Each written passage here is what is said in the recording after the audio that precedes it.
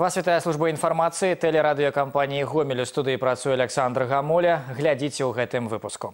Самае першае і самае дарагое слово у рэгіёне праходзяць урачыстасці да дня маці. Беларускія гібрыды, сучасныя тэхналогіі, выдатная кармавая база на палях ідзе ўборка кукурузы.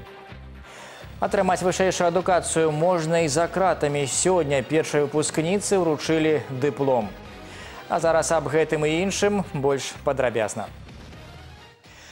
Мясцовая ўлада павінна быць бліжэй за ўсё да людзей. Аб гэтым заявіў на сустрэчы з жыхарамі камянецкага раёна першы намеснік кіраўніка адміністрацыі прэзідэнта Максім Рыжанкоў.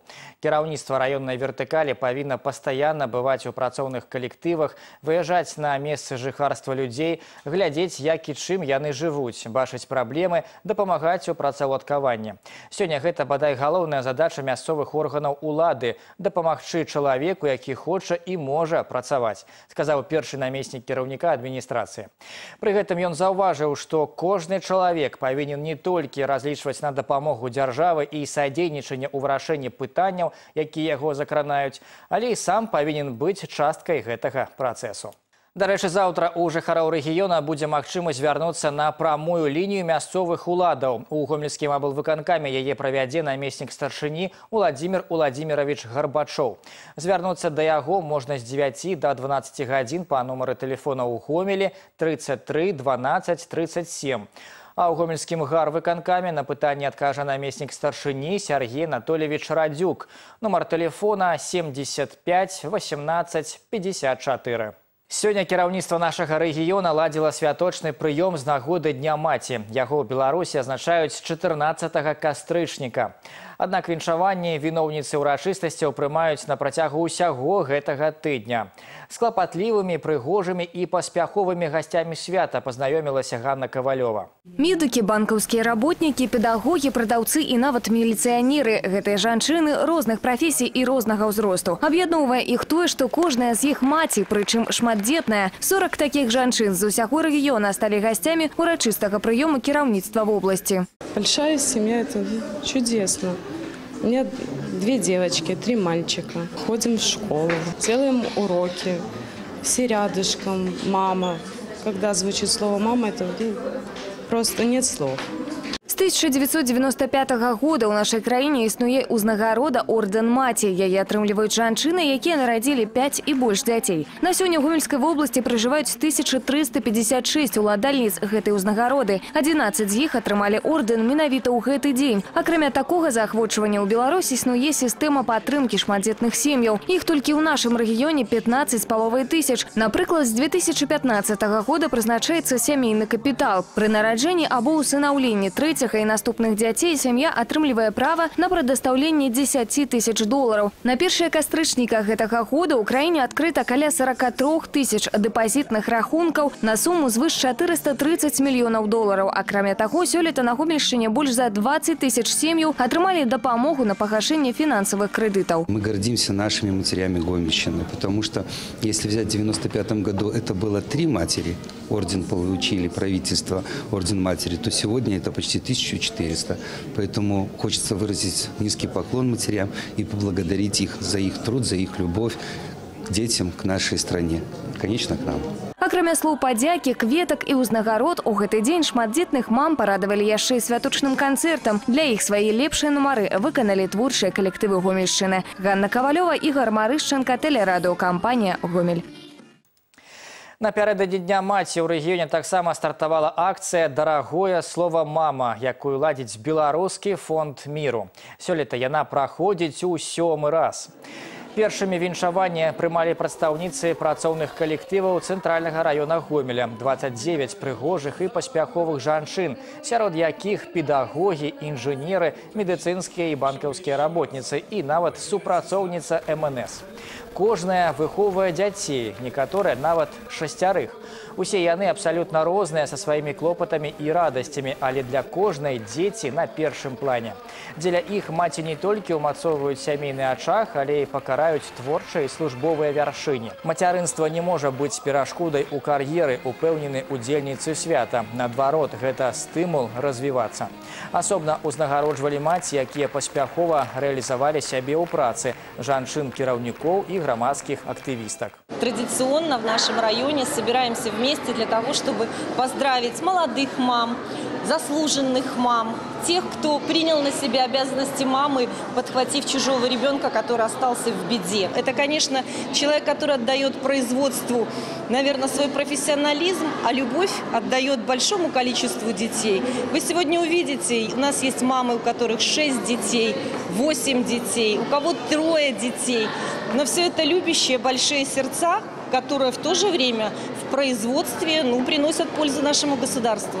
Віншаванне з днём маці прымуць прадстаўніцы працоўных калектываў іншых раёнаў вобласці. Завершыцца святочная акцыя 19 кастрычніка ў добрушы.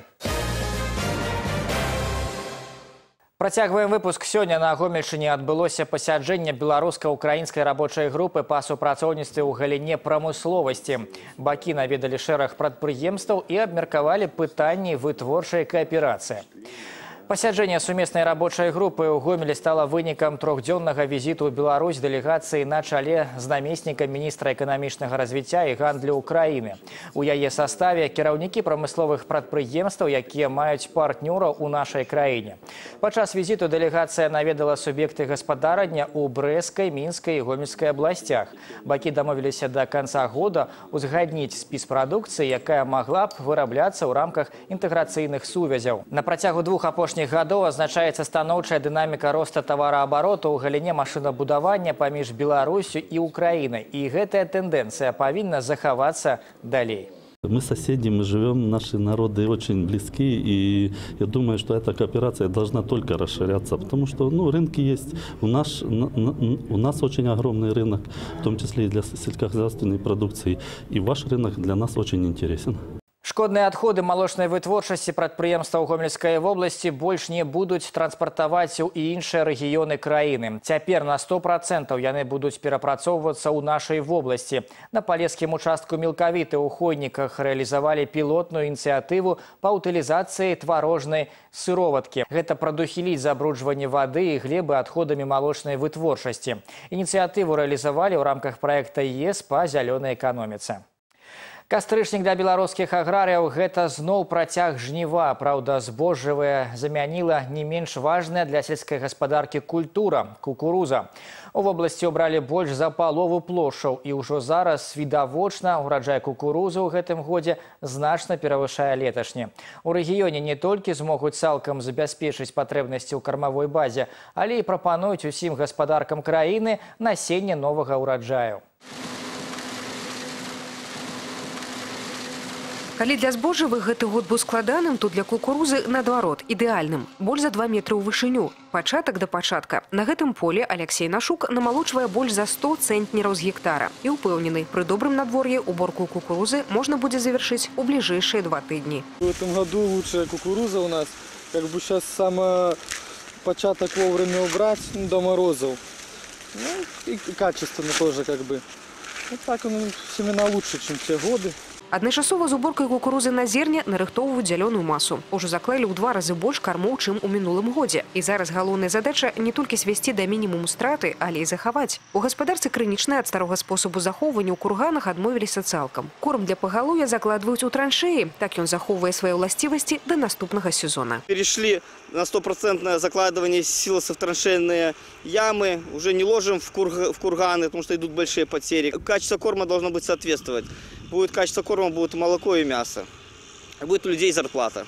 Яны працуюць у кругласутачным рэжыме і ўжо ў наступным месяцы гатовыя адправіць насенню кукурузы новага ўраджаю ў гаспадаркі краіны. Кукурузакалібровачны цех эксперыментальнай базы крынічная сёлета прымя на перапрацоўку 20 тысяч тонн пачаткаў. У сырьевой зоне завода находится 25 хозяйств, которые размещены у 8 районах.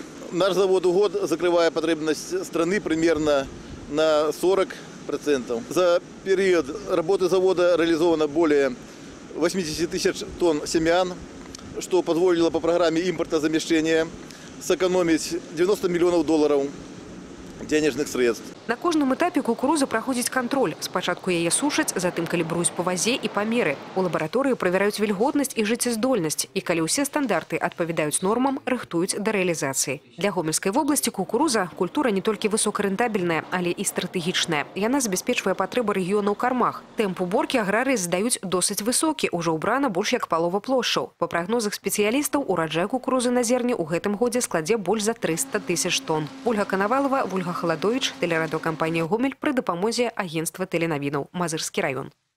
13 кастрычніка 2015 года у Беларусі стартаваў праект, мэта якога дапамагчы асуджаным павысіць свой адукацыйны ўзровень і атрымаць вышэйшую адукацыю.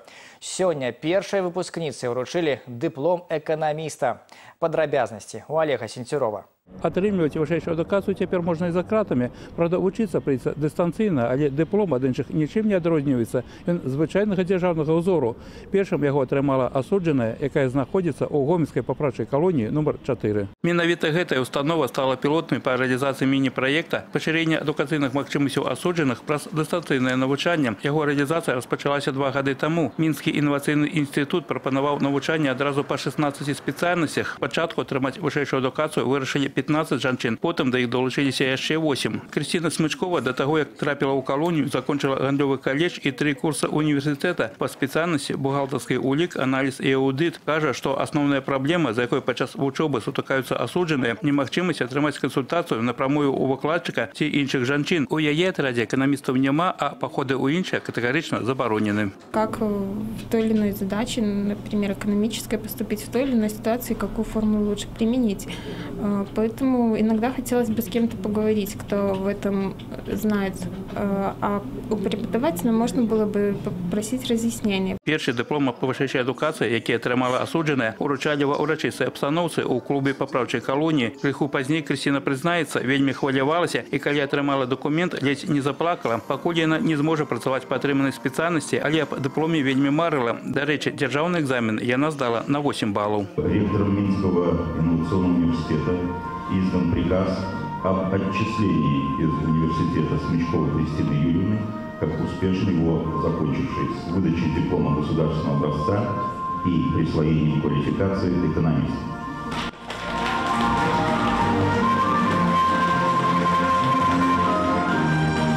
Навучанне асуджаных платнае за один курс неабходна заплаціць каля 1200 рублёў. Некаму дапамагаць родныя Крысціна зарабіла сама. У калоніі яна асвоіла прафесію швачкі і нават атрымала самы высокі разрад. Дома яе чакаюць сын і родныя, а таму на свабоду жанчына мае намер выйсці поўнасцю канкурэнтаздольнай на рынку працы. У яе бліжэйшых планах атрымання яшчэ адной вышэйшай адукацыі. Між тым каардынатары праекта кажуць, што цяпер яго дзеяння будзе распаўсюджана і на іншыя папраўчыя установы Беларусі. Департамент исполнения наказания принял решение расширить эту практику. В настоящий момент еще в восьми исправительных учреждениях на территории Беларуси созданы такие центры дистанционного образования, и там осужденные могут получать высшее образование. Олег Сентюров, Валерий Гапанько, телерадиокомпания «Гомель».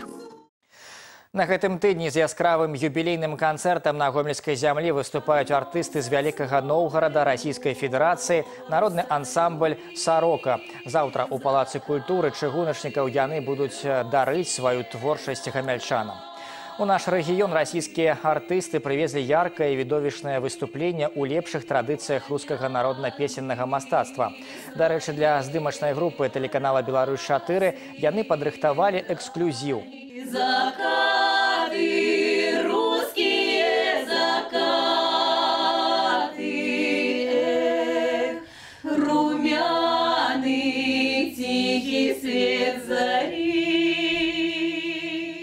За 20 гадоў творчай дзейнасці народны ансамбль сарока стаў сапраўдным музычным брэндам вялікага Ноўгарада. Прафесійны вакальны калектыў, яркі песенны рэпертуар робяць кожнае выступленне асаблівым. На канцэртных пляцоўках самых розных краін народны ансамбль сарока заўсёды прымаюць с поспехом. Мы с великой радостью, огромной миссией находимся здесь, в Республике Беларусь. Мы здесь уже, наверное, раз третий в вашей стране. И завтра мы хотим всех пригласить в городе Гомель ДК железнодорожников в 5 часов вечера на нашу красивую сольную программу, э, где будут звучать известные популярные песни, не только русские народные, но и наши авторские, которые звучат на многих радиостанциях России. И надеемся, что в будущем будут звучать и по радио Белоруссии. Гэтыя і іншыя навіны вы можете знайсці на нашым сайце ў інтэрнэце па адрасе www.tvrgomel.by. На гэтым выпуск завершаны ў студыі працаваў Александр Гамуля. Добрых вам навінаў і сачыце за эфірам.